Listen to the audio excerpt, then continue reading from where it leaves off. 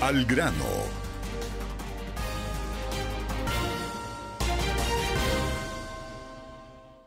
Pues ya está el momento de recibir las llamadas telefónicas de El Pulso al grano, Juan Manuel. Al Graniux, señor, señora, es el momento de que le toca a usted hablar. Claro. Y para eso contesto esta que es la primera llamada. Ay, caramba. Aquí está. Buenos días. ¿Conteste o no? A ver, ahora sí. Buenos días. Buenos días. Buenos días. Buenos días. eh, mm, saludos a los dos. Gracias. Gracias. Oiga, para, para, para poner una queja por el cielito lindo. ¿Qué pasó? La que está por el Ejército Nacional.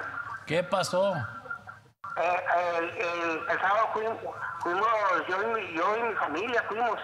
Ándele. Fuimos y, y al, al, y la que nos estaba ahí, a- a- con- a- pues sí, para, para cobrarnos, nos dijo que, que, que teníamos que dar propina el 10%. ¿O los obligaban a, a dar propina? Sí, nos, nos, nos está obligando a dar propina del 10%. No es Así que obliga- con la gente Para, para que Ten- se ponga, tengo entendido- Ahí con la gente porque uno, una, la, la, la, la que citó es una, es una, es una jovencita, eh, eh, pues la- así flaquita, delicadita, pero altita. Mire, tengo entendido que no es obligatoria la propina, ¿eh? No. No es. En- rela- tiene relativamente poco eso. Sí. de que ya la mayoría de la gente lo da, pero yo también entiendo que hay gente que por alguna razón anda muy justa en su gasto y ya cobrarle un extra le dificulta pagarlo. Obligarlos, Entonces, además. Sí, hay que pago. decirles a los este, encargados de este negocio que, le- que no cobren como obligatorio el, la propina porque no es obligatoria. No es. No, incluso se pueden hacer quejas formales, ¿verdad? Por, el- por este tipo Pues de... imagínese, va usted bien abusos. desayunado, bien comido, y luego le salen con que debe más, Pues no. pues hasta indigestión le da. Sí, no, es que, es que se ha vuelto como una práctica en Pero la que hay gente que te lo exige. te lo ¿eh? exigen, sobre todo cuando son grupos. Incluso te lo marcan ahí. Para Y- grupos de y tantas la- personas, la, verdad- propina es del 15%. La verdad, por costumbre uno da la propina. Sí, Pero ¿qué pasa el día que no traigas? no es obligatoria. Eso sí es. es. verdad. Buenos días. Adelante, buenos días. Buenos días. No se escucha. Buenos días. Buenos días. Buenos días. Buenos días. Adelante.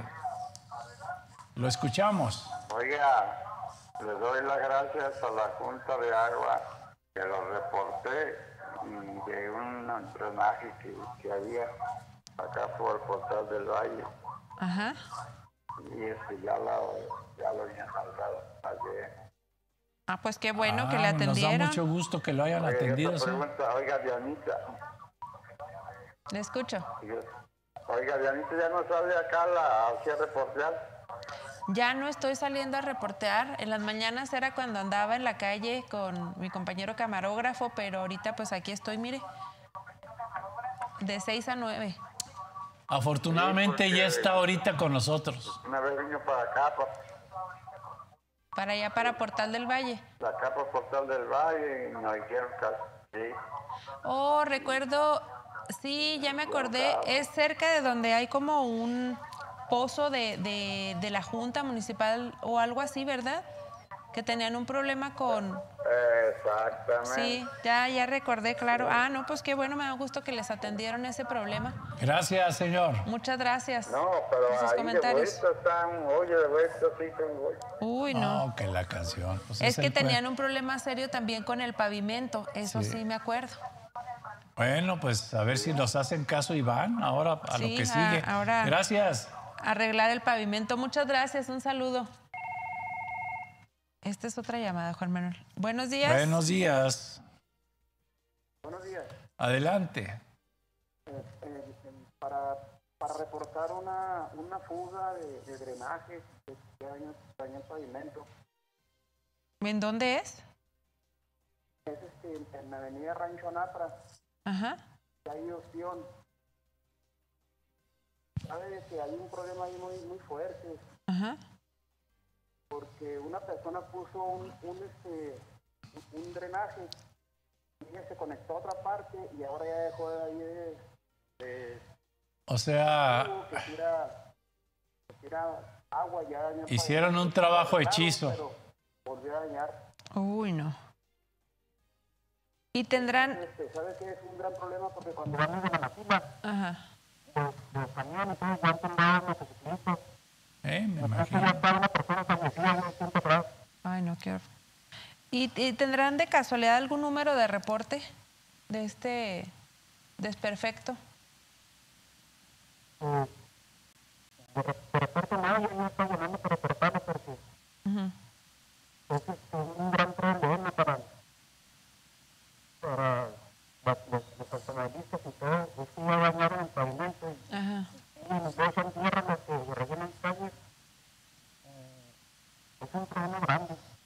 No, está peor. Claro. No, pues aquí Bueno, lo pues ahí lo compartimos. tenemos y lo vamos a pasar con mucho gusto. Al contrario, gracias a usted.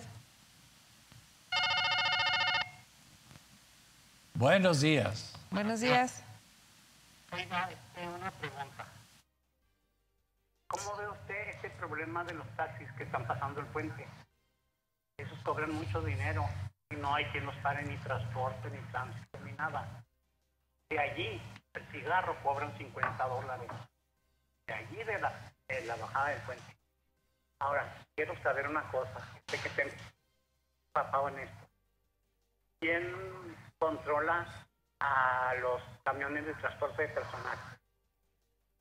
Transporte, tránsito, ¿quién? Quiero saber hasta dónde lo hacen o no lo hacen.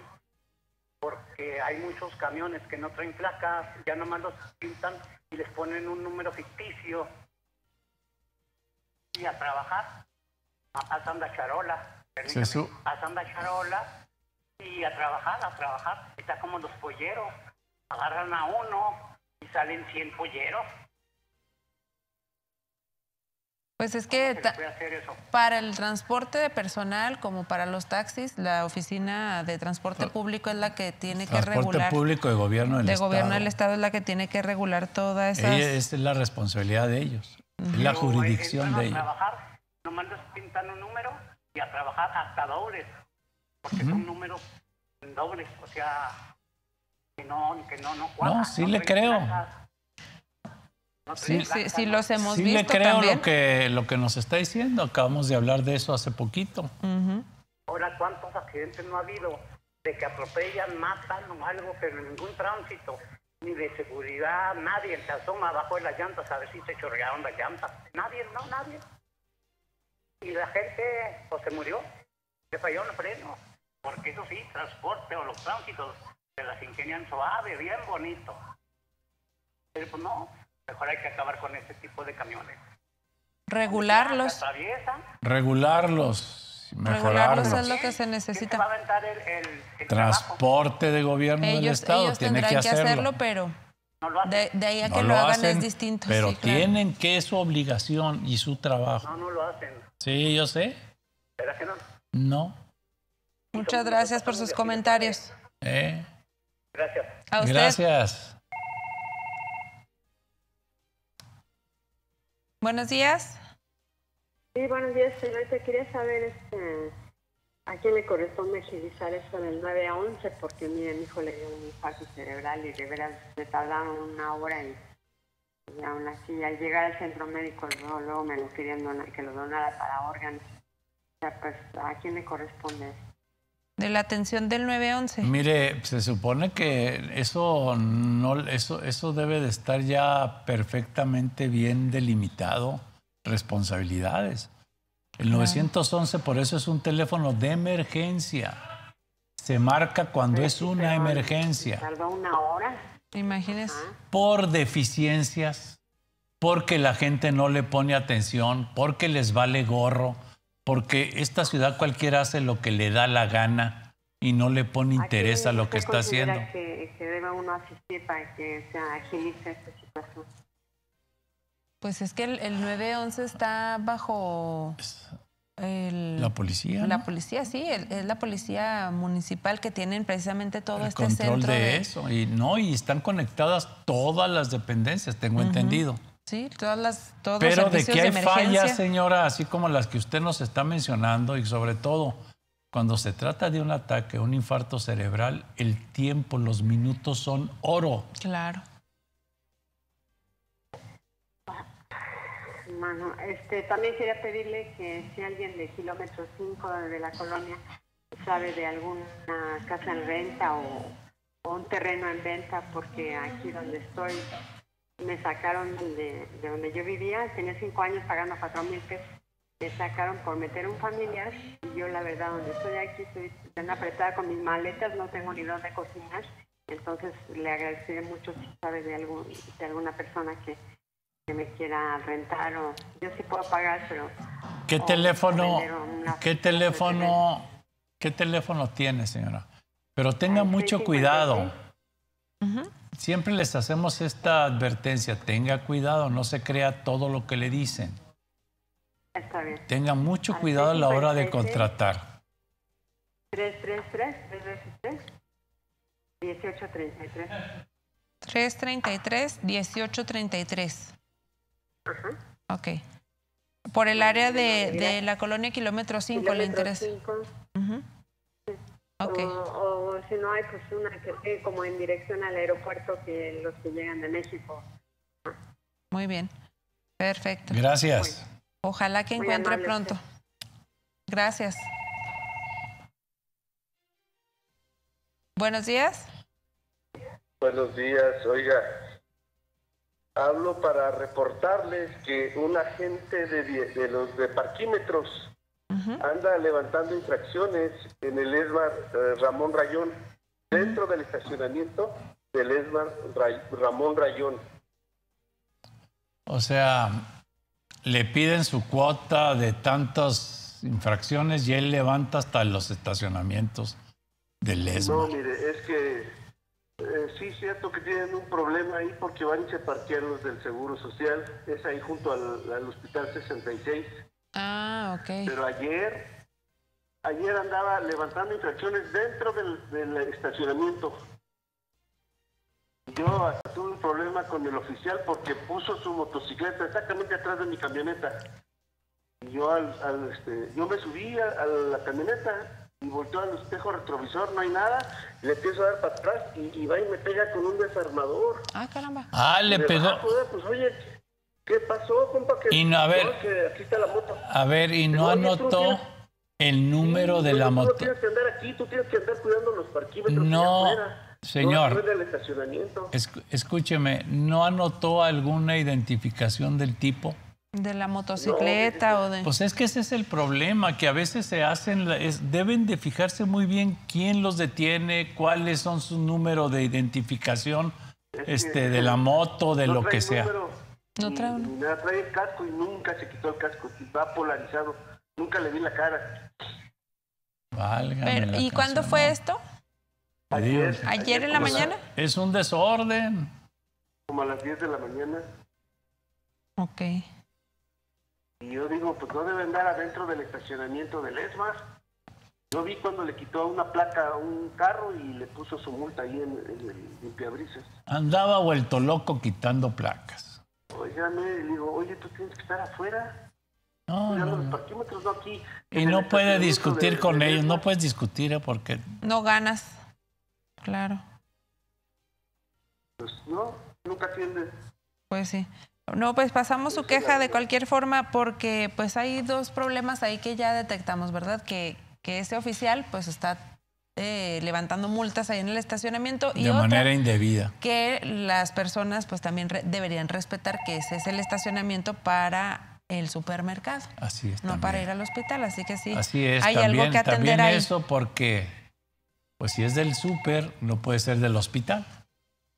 Así es. Pues Bueno. esa fue la última llamada, Juan Manuel. Le agradecemos a todas las personas que se comunicaron con nosotros en este queso espacio precisamente. Y pues mañana, aquí en punto de las 7:45, más o menos por esa hora, volvemos a tener esta comunicación. Muchas gracias. Bueno, hay que, eh, gracias, hay que ir a, ya es hora, me tengo que ir al rato, porque tengo que ir a comprar todo lo referente a celebrar el triunfo de la América. Yo dije, ¿qué estás preparando? Hoy el Pachuca sufrirá las consecuencias de habernos ganado ese título. Quiero ver. Lo va a pagar. Quiero lo va ver. a pagar caro. Y también quiero ver cómo vienes mañana, dependiendo del resultado. Si vengo. Sí. No, no, sí va a venir con toda seguridad a afrontar las consecuencias y a celebrar el triunfo. Ah, bueno, qué seguro, qué seguridad. Pero bueno, muchas gracias por sus llamadas. Vámonos a la pausa. Vámonos a la pausa. Asaltantes atacaron a balazos a un motociclista en la colonia El Granjero. El hecho alertó a los vecinos del sector quienes reportaron disparos con arma de fuego en las avenidas Centeno y Fresa. Los agentes que atendieron el reporte localizaron a un joven tendido junto a una motocicleta deportiva de color blanco que se encontraba tirada en plena calle y a un